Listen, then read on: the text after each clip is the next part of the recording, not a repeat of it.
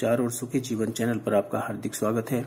आज की इस वीडियो में जो नुस्खा हम आपके लिए लेकर आए हैं, वो आपके चेहरे से झुर्रियों का नामो निशान मिटा देगा। दोस्तों, झुर्रियों का चेहरे के ऊपर आना पहले उम्र की निशानी माना जाता था, बढ़ती हुई उम्र की निशानी। लेकिन आज हमारी लाइफ स्टाइल या गलत खान पान की वजह से कम उम्र में भी हमारे चेहरे के ऊपर झाइयाँ और झुर्रियाँ आने लगती हैं। दूसरी वजह यह है कि बाज़ार में कई तरह के कॉस्मेटिक प्रोडक्ट मिलते हैं और हर कोई खूबसूरत और गोरा दिखने के चक्कर में उन क्रीमों को और उन बाहर के प्रोडक्ट्स को इस्तेमाल करता है और उसके अंदर जो केमिकल होते हैं, उन्हें नज़रअंदाज करके अपने चेहरे की खूबसूरती को बर्बाद कर लेते हैं। रिज़ल्ट उसका ये होता है कि हमारे चेहरे के ऊपर बहुत ही कम समय में और बहुत ही कम उम्र में हमारे चेहरे के ऊपर झाइयाँ, झुर्रियाँ, काले दाग धब्बे आने लगते हैं और हमारे चेहरे का जो नेचुरल खूबसूरती है नेचुरल ग्लो है, वो कहीं खोसा जाता है। दोस्तों, एक बार जब झुर्रियाँ चेहरे पर आ जाएँ तो बहुत तेज़ी से हमारे पूरे चेहरे को झुर्रियाँ घेर लेती हैं और हम जब आईने के सामने खड़े होते हैं और अपना चेहरा देखते हैं तो हम खुद अपने ही चेहरे के ऊपर शर्मिंदा हो जाते हैं।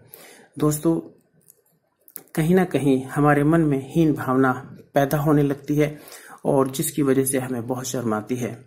दोस्तों, आज हम आपके लिए एक ऐसा बेहतरीन और गजब का नुस्खा लेकर आए हैं, जो आपके चेहरे से झुर्रियों का नामो निशान मिटा देगा और चेहरे के ऊपर एक बहुत ही खूबसूरत ग्लो और चेहरे के ऊपर एक नया आपका निखार आपके चेहरे के ऊपर दिखाई देगा।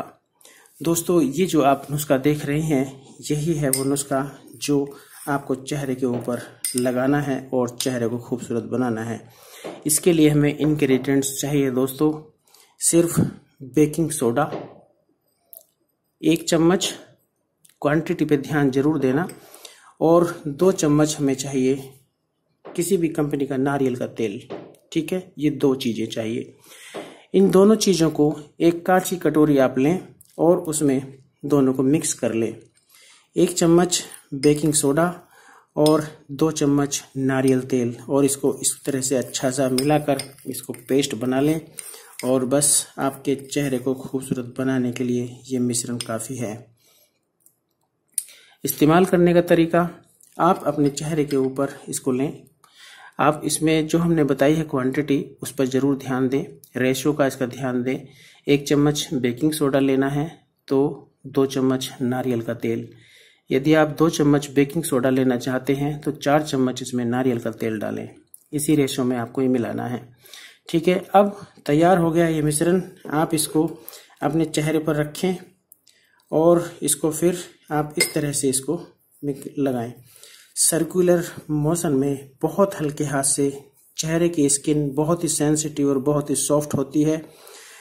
जो आपने हल्का हाथ नहीं रखा तो आपके चेहरे के ऊपर छाइयाँ और भी ज़्यादा हो सकती हैं और अपने चेहरे की स्किन को आप जाने अनजाने में डैमेज कर सकते हैं। इसलिए हल्के हाथ से इस तरह से सर्कुलर गोल गोल मोशन में अपने चेहरे की मसाज करें और पाँच मिनट के लिए इसको ऐसे ही लगा छोड़ दें। उसके बाद अपने चेहरे को हल्के गर्म पानी से धो लें। बस कुछ ही दिनों के प्रयोग से आपके चेहरे से झुर्रियों का नामो निशान मिट जाएगा।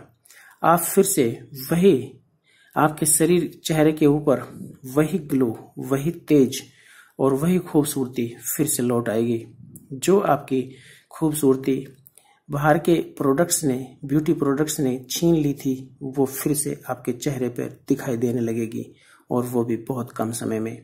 दोस्तों, इसके साइड इफ़ेक्ट नहीं है, और बिंदास आप इसको यूज़ कर सकते हैं अपने चेहरे के ऊपर।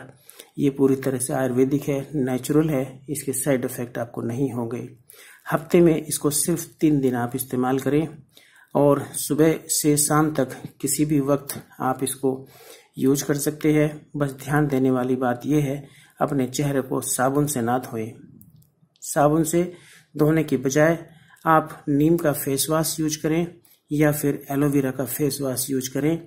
इन दोनों में जो भी आपको सुटेबल लगे, जो भी अच्छा लगे, उससे आप अपने चेहरे को धो सकते हैं, लेकिन साबुन का इस्तेमाल ना करें, क्योंकि साबुन के अंदर भी केमिकल होते हैं।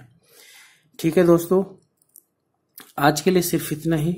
हमारी दी हुई जानकारी और हमारा ये वीडियो यदि आपको अच्छा लगा हो तो हमारे इस चैनल को सब्सक्राइब करें, लाइक करें और दूसरे लोगों के साथ भी शेयर करें। हम जल्दी फिर लौटेंगे कुछ नए मर्ज और उनके आसान से उपायों के साथ।